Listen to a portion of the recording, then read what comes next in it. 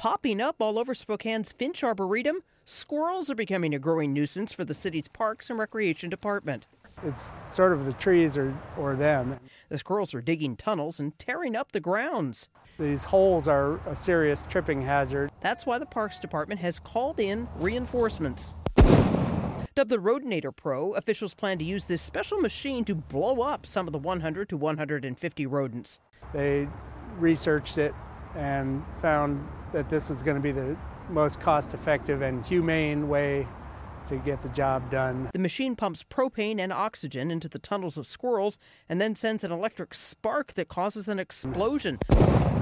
The shock waves kill the squirrels and they collapse their tunnels. It really needs to be done if people want an arboretum. But the city's Humane Society disagrees. They're trying to stop the Rodenator Pro, saying the blasts are a temporary and unethical response.